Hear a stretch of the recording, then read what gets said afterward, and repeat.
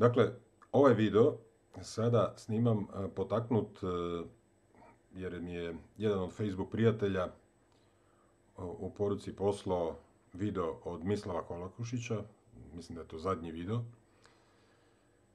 E, traje 15 minuta, pogledao sam, poslušao sam i, ovaj, i bio sam, kako bi to rekao, i, i nasmijan i, i zgrožen istovremeno.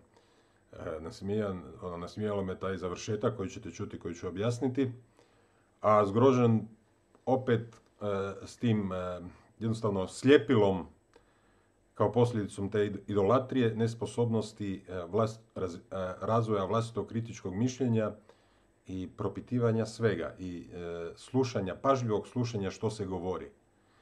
Ne, ne da se uhvati čovjek na različite zamke, lijepe riječi, čak i istinite riječi, ali treba cijeli kontekst, cijelu cijelinu e, slušati od početka do kraja i vidjeti o čemu se tu radi. Uglavnom, e, da, da krenem sa samim tim videom, pa ću uz taj video onda dati eto moje viđenje e, tog nastupa i moje objašnjenje tog nastupa i koja je pozadina tog nastupa. Evo. Poštovani građani Republike Hrvatske, poštovani građani cijele Europe. E, već sami ovaj početak. Već sami ovaj početak i, i cijela scenografija, jasno meni to odmah bode oči, bode uši. Ova zastava Europske unije, čak i ova zastava Republike Hrvatske, to su sama, sam pojam Republike e, je put, e, pojam koji se za to, e, taj pojam hvata je put propasti. Respublika, narodna javna stvar, znači nije Božje, nego je ljudsko i isključivo ljudsko i e, to je taj osnova tog sekularizma i opće taj pojam građani, zašto u hrvatskom jeziku se koristi riječ građani, e, ako već se koristi neka riječ, primjereno bi bilo državljani, jer onda to obuhvaća sve. Građani e, bi bilo primjereno ako se neko obraća građanima grada Zagreba, građanima grada Karlovca, grada Osijeka, onda su to građani grada. A ovako e, nametnuto je to građani, a to ima i svoju tu jednu dublju pozadinu, još iz Francuske revolucije, koji su taj pojam uveli i koji se onda provuko i ugradio u kulturu, u mentalni sklop, opet ljudi to prihvaćaju i govore ne shvaćajući o čemu se radi. I dobro, ljudi to ne znaju, ali oni koji se tu postavljaju kao lideri, kao nekakvi spasitelji, morali bi to znati. Ako to ne znaju, onda su to slijepci koji vode slijepce. A kako je pisano, onda svi zajedno u, jami, u jamu padaju. Danas smo svjedoci kako nestaje svijet pred nama. Kako u potpunosti nestaje civilizacija. Temelj nezabilježenih kršenja temeljnih ljudskih prava. Dobro, da, svjedoci smo toga kako nestaje svijet, e, odnosno svijet, ispravljen je ovaj drugi dio, e, ova civilizacija kako se urušava. Ali zašto? Zbog čega? Tu ne dolazimo do odgovora. Ne nudi se odgovor zbog čega nestaje ta civilizacija, zbog, zbog čega nestaje, kako rekao, ovaj svijet. U čemu je problem tog nestanka? Zbog kršenja ljudskih prava. To je posljedica. Ko je uzrok i tog kršenja ljudskih prava? Ko, ko daje ljudska prava? Ko je onaj koji je stvorio svijet? Ko je stvorio čovjeka sa njegovim Bogom danih pravima?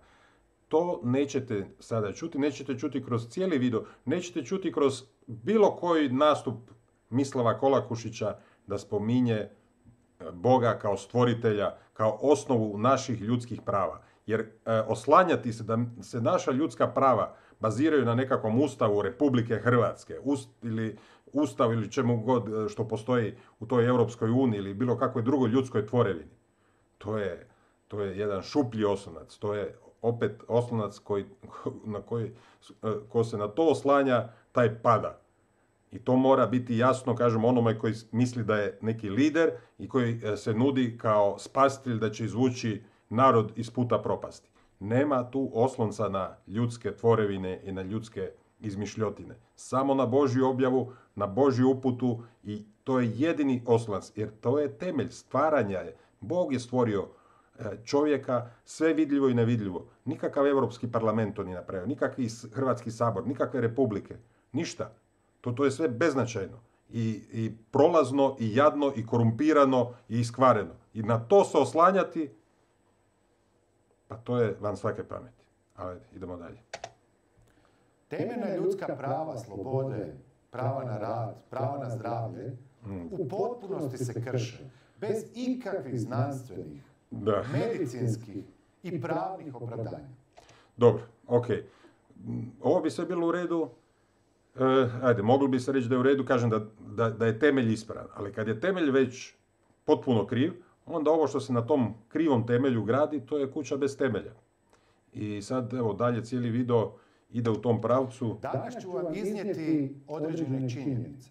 Da, i iznosi on e, dobre činjenice, e, vrijedne, kvalitetne, neosporne činjenice koje i sam kako navodi su ovaj, e, prešućene u ovim mainstream medijima, koje se iskrivljuju, koje se cenzuriraju i tako dalje. E sada, ovo, ovo je sad onaj bitni dio, pa ćemo doći do samog završetka koje, e, je pravo otkrivenje e, svega ovog skupa. Dakle, prvo, znam, znam koja će biti zamjerka od onih koji su se navukli na Kolakušića, ali možda oni koji nisu, pa čak i legitimna zamjerka. Marko, može se reći, Marko, što sad ti na to Kolakušića se tako bršaš, nema veze, on ipak iznosi te stvari i evo sad je, ovaj video ima, ne znam, 120 tisuća ili vjerojatno će imati više pregleda, pa te stvari onda dopiru do ljudi. Da, je, ali kažem, treba znati i razmišljati malo dublje, malo šire i shvatiti igru koja se ovdje odigrava. Znači, cijeli ovaj projekt pandemije, znači ovo što Kolakušić iznosi, ove činjenice, ovaj sustav kako funkcionira, ovaj sustav zla kako funkcionira. Pa nije on spontano se isplanirao, znači ta cijela pandemija, e, sve ovo kako se odvija. Nije se to brzo pleto isplaniralo, nije se to od jučer do danas, ajmo sad ovako, ajmo sad, to je dugoročno isplanirano, to je strateški isplanirano. Čak, čak više generacijski, ne čak nego, znam da je više generacijski što ljudima nepojmljivo. Neko može više generacijski stoljećima i, i čak i tisućljećima planirati kuda će se ići i tako dalje. To jer naš ljudski vijek je vrlo kratak i onda u, eto, u toj svojoj određenoj zatvorenosti, e, svoje, e, čak i neke određene egocentričnosti, prirodne egocentričnosti ne, i, i jednog dosega našeg, onda ne možemo pojmiti da nešto može tako dugoročno biti osmišljavano i planirano i da, da je to moguće. Tako i ovo tu što se sad događa. I onda kad to znate, sa tim znanjem, onda znate da u tim planovima su isplanirani i da se svaka, svako protivljenje unaprijed anticipira i preuzme i kontrolira. I onda se guraju njihovi ljudi, pripremljeni, jako dobro izverzirani, koji će onda tu zadaću odraditi i onda u pravo vrijeme doći. I sada odgovor na onu hipotetsku primjedbu prema meni što sam rekao da čak može imati smisla legitimiteta, ali nema baš puno mudrosti u sebi, je ovo, znači, ovo što Mislav Kolakušić govori. Kome se on obraća? Ko, ko su oni koji će ovu poruku širiti i prihvatiti? Upravo ovaj dio ljudi koji su čvrsto oni koji su odlučili da se neće cijepiti praktički ni pod koju cijenu. Evo recimo otprilike tako. To je ta, to je ta ciljana publika.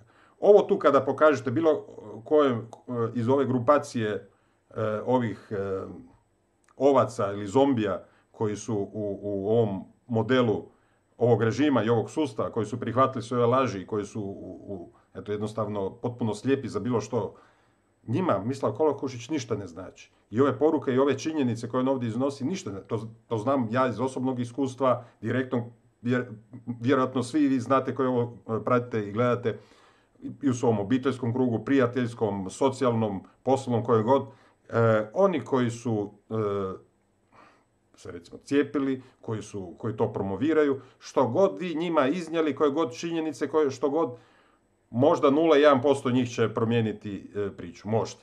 Možda.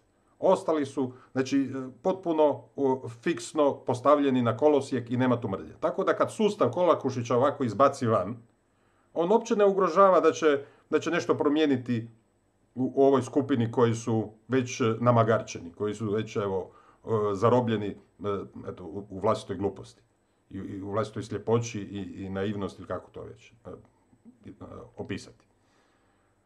Ali će zato utjecati na ovu, ovaj dio, ovaj segment, kako oni kažu, antivaksera. Tu, tu se širi utjecaj. I to na koji način? Upravo da se tu postavi lider, njihov, verziran, ono što sam rekao, isplaniran, sa ovakvim temeljem, bezbožnim, apsolutno bezbožnim. Europska unija, veliki Babilon. Pa nije slučajno ova zastava Europske unije u pozadini. Što je to? To sam još ono, ponavljao stotinu puta i pisao u knjigama koja je simbolika e, zastave Europske unije. To je e, babilonska zastava, plava, plava, ova plava boja boja e, Babilona. Znači, Babilon, to se može vidjeti i u, u, Berlinu, postoje one, iskopine iz Babilona, ona, ona plava caklina, upravo ove boje. Znači, Babilon je na svojim tim zidinama, impresivnim, ogromnim, velikim, visokim, bio je potpuno obljepljen i, i obložen tim keramičkim pločicama E, te plave cakline koje se na onom suncu tamo e, sjajila i pokazivala tu impresivnu snagu i tu pozemljarsku moć Babilona, Nimroda, njegovog tog utemeljitelja. I to je to. I ovih 12 zvijezdica, žutih zvijezdica, je babilonski koncept. I to je babilonski, to je e, simbol velikog Babilona. Ko je, evo, stoji iza misla Kolokošće. Ko zna čitati jezik simbola, onda to zna i razumjeti. Također i ova zastava Republike Hrvatske, o tom sam isto pisao, e, ova Tuđmanov, ovaj Tuđmanov dizajn, e, dizajn doslovce, znači iz, iz reda tog društva Hrvatskog zmaja, E, koji ima eto, upravo tu svoju zmajsku simboliku i ove krljušti zmaja u pozadini koje govore da je Hrvatska podložena zmaju. Evo, vrlo jasno. Znači, to je ta simbolika, to je taj riječnik koji je ovdje skriven, pred očima, a skriven. I tako je taj Mislav Kolakušić i ovaj video i ovo sve sa tom namjerom. Po mom, evo, po mom analitičkom sudu, po mom eto znanju, iskustvu koje imam životnom i svemu, imam, kako se kaže, utakmice u nogama puno, da ne nasjedam više, Nekad jesam kao mlad, eto vjerao sam čak i u, demokraciju, i u te neke izbore, vrlo kratko, ali bio sam u tom. I tako da razumijem ljude koji su eto, i dalje na to navučeni. Prošao sam i ja tu fazu. Ali treba iz toga izići van. Uglavnom, to je ta priča i sada, kažem, ta primjedba da, da Mislav Kolakožić nešto tu dobro čini u tom smislu da on širi tu poruku, treba, kažemo, shvatiti ovaj kontekst koji sam tu objasnio i kome je ta poruka namijenjena. Naravno, kažemo ovo, tim, kako oni kažu, antivakserima, ovoj skupini koja pruža otpor ovom sustavu, je ovo namijenjeno. Da, da se uhvate za svog velikog vođu, velikog lidera, u, u koga će vjerovati, kome će dati svoje povjerenje i misliti, e, sada, sada imamo odgovor ne moramo se brinuti, ne moramo se boriti, u prvom redu to, ne moramo izlagati svoje živote, svoju imovinu, svoje zdravlje, svoju sigurnost za borbu za zaštitu eto, svojih bližnjih, svoje djece u prvom redu i tako dalje. To je ono. Mislav Kolakušić će za nas u Europskom parlamentu odraditi to. I onda čak idu dalje ti nekakvi smiješni na smiješni kao velika pobjeda Mislava Kolakušića, Europski parlament i nekakav tamo sud donio da on može ići tamo unutra. Upravo savršeno, ono što kažem, to je dugoročno isplanirano da, da mu se da kredibilitet. Da, vidite kako on uspjeva, vidite kako te institucije su dobre, one su tu ipak za nas. Može se unutar ovih institucija izboriti pravda, pobjeda. A ja vam kažem, ne može se. Ovo vam je velika laž, velika obmana. Ogromna. Ogromna. Ne, ne ono do, do sada u povijesti čovječanstva ovo što se sada radi i kuda to ide i, i s kojim posljedicama će to biti. I dobar dio toga i Mislav Kolakušić govori, zašto on to govori te stvari? Pa vidite, osim toga da ima pisani govor. On to, on to, to je pripremljeni govor. On ga čita vrlo precizno od početka do kraja. Uvježbani govor. Malo je zapinja, ali dobro, ok, uvježbani govor, napisani, koji je vrlo promišljen. I on se tu obraća. Znači, upravo ovoj populaciji koja te stvari već unaprijed zna. Ja ne znam da li ima tu neko iz, ovo, iz ovog segmenta ciljane te e, skupine gdje, se, gdje ovo dolazi, ova poruka, da praktički se, ne znam, čak i puno više od toga. I zato to je tu tako plasirano. I zato to onda ima, kažem, taj smisao upravo u umrtljenju svake aktivnosti. I slično, ne slično, biti potpuno isti obrazac, kao ono za vrijeme Trumpa i za to, vrijeme tog famoznog Q. Q, evo, Q, ono, oni hapse, uh, pedofili su uhapšeni, podzemni nekakva, podzemni nekakvi labirinti, Bill Gates je uhapšen, ne znam, svi, engleska kraljica uhapšen, papa je uhapšen, to se kružilo okolo, pa to je nevjerojatno koja je to sekta bila. Uh, Trump je naš, Trump je naš kao Trump se bori protiv ovog sustava, ali to su nekakvi njegovi tajni e, signali koje on ima sa Q-om, tim i tako dalje. To je sve bila ono tako jasna i razvidno specijalna operacija, znači operacija specijalnog ratovanja. I o tome sam govorio kad je već to bilo aktualno. Upozorio sam na to. Isto tako sada upozoravam i na ovo tu. Kako je završilo sa tim Q-em? Gotovo ta priča je odrađena, iako i dalje, što je, što je fascinantno, i dalje postoje ti sljedbenici koji prati, iako su se, kažem, bitno smanjili. Od svih koji su mi pisali poruke, koji su mi ono tamo polemizirali samo, Marko vidjet ćeš, u zabludi si to, radi se o djeci, to ovo, ono. Niko se nije mi ispričao, niko nije rekao, Marko, da, bio sam u zabludi e, po pitanju Q-a, prevarili su me. Ne, nego jednostavno traže, traže novog Q-a. Evo sad su dobili umjesto Q-a, dobili su K, Q-a. Sa Q-a na K idemo po slovima abecede. Ovaj, e, ili ista priča kao sa onim suđenjima u Ninbergu. Isto sam to i u intervjuima govorio, kakvo suđenje u Ninbergu, Ninberg, Ninberg 2, pa ko će njih e, pohapsiti? Kakve su to priče, nešto ovaj je dao nekakve optužnice, kome? Pa to je, znači, e, sva ta, sve te institucije su njihove. Odavno već formirane znači dugoročno već isplanirane, napravljene, kontrolirane, e, znači kadrovska politika tako selektivna već cijeli niz godina i generacija, da ne može tu doći neko e, ko nije od njih ucijenjen, kontroliran, a ako slučajno jedna iznimka se negdje nađe, brzo ga uklone. Brzo ga uklone. To je toliko, to je statistička greška koja, koja se niti ne primijeti. Tako da evo, to je ta priča, to je taj isti obrazac specijalnog ratovanja. U ovom slučaju e, vrlo ciljano, znači namijenjen za e, Hrvatsku, za područje ove te moje, mojeg neprije, neprijateljske tvorevine Republike Hrvatske, Republike Hrvatske,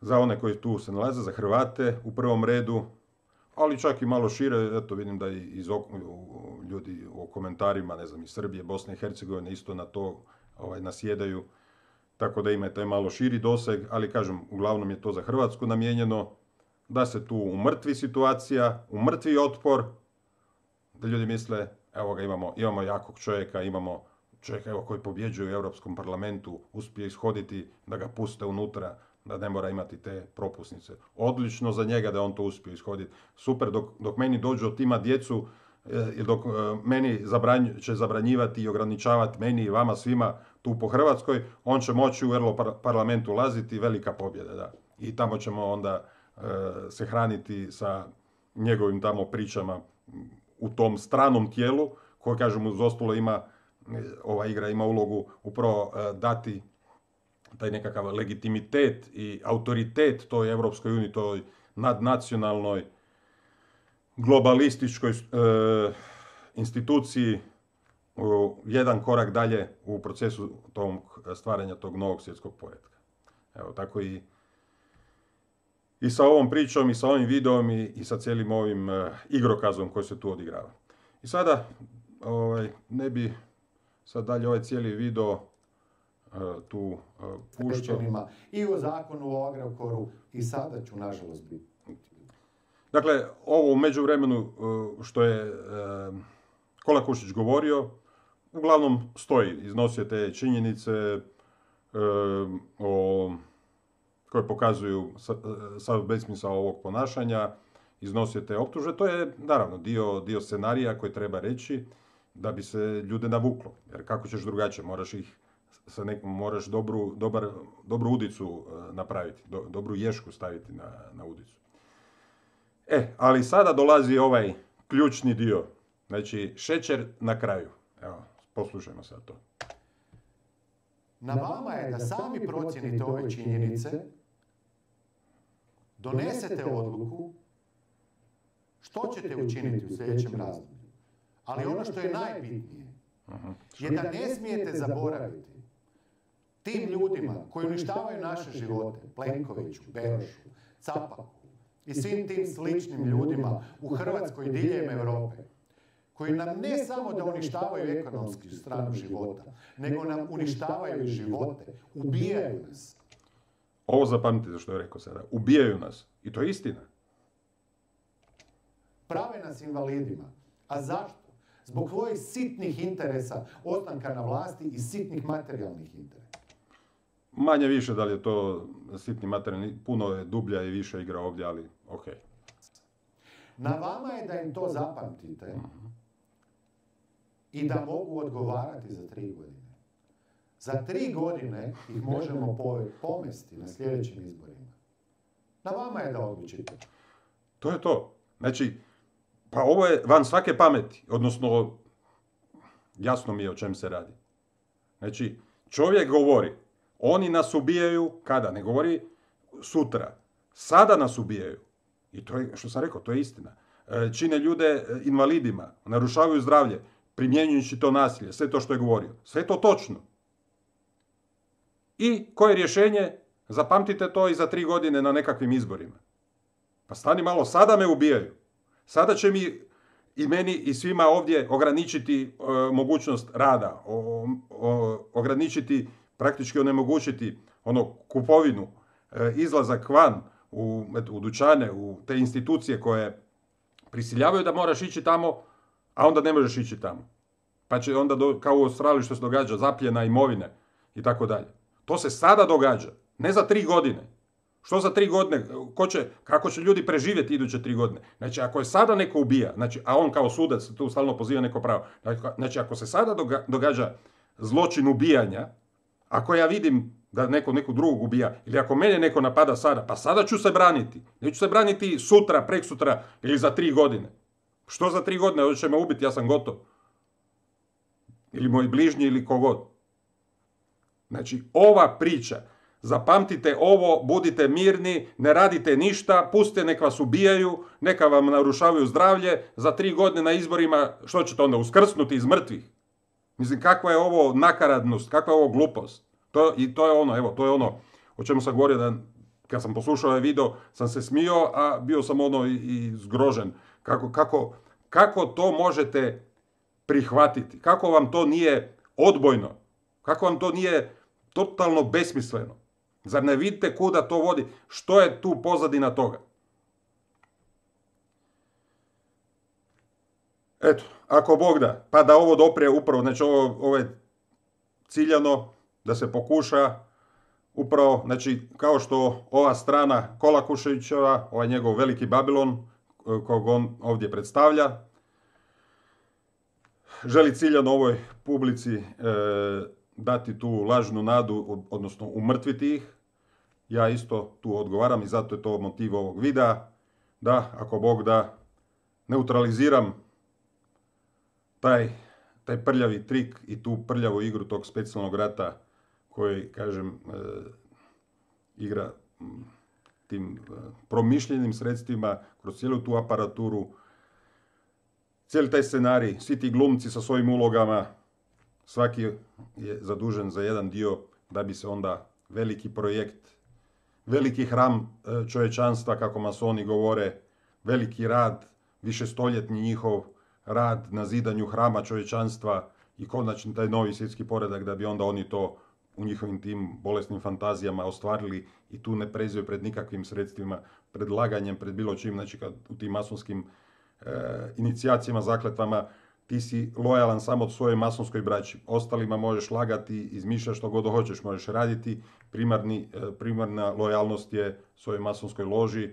masonskoj organizaciji, masonskoj braći, a isti principi vrijede i, i tim ostalim raznim e, udrugama, tajnim društvima i tako dalje. To je to. I eto, s tim bi i završio, neću dalje. Mislim da, da ovo mora biti jasno svakome sada kada, kada evo sam ovako to obrazložio i razjasnio ko, ko je posljednik razuma, iako mu Bog da da mu bude jasno, a tko nije, eto mu neka ide onda za Kolakušićem, neka čeka tri godine na izborima, a za tri godine u međuvremenu ovi će nas tu e, pozatvarati, ono, oteti nam djecu, onemogućiti nam život i tako dalje tako dalje. A vi čekate tri godine izbore pa onda glasite za Kolakušića da, da vam riješi e, situaciju. Hvala na pažnji i doviđenja. Više informacija o nabavci prirodnih biljnih lijekova te programa detoksa, to je čišćenje crijeva, jetre, pluća, drugih organa kao i čišćenje organizma općenito, te programa prirodnog liječenja lakših, težih i najtežih oboljenja možete pronaći na našoj stranici organizacije obrane zdravlja na kontakt broj 095 9192 134 za inozemne pozive 00385 9591 92134. Hvala vam što ste odgledali ovaj video, nadam se da će vam biti na veliku pomoć i blagoslov, pozdrav i svako dobro.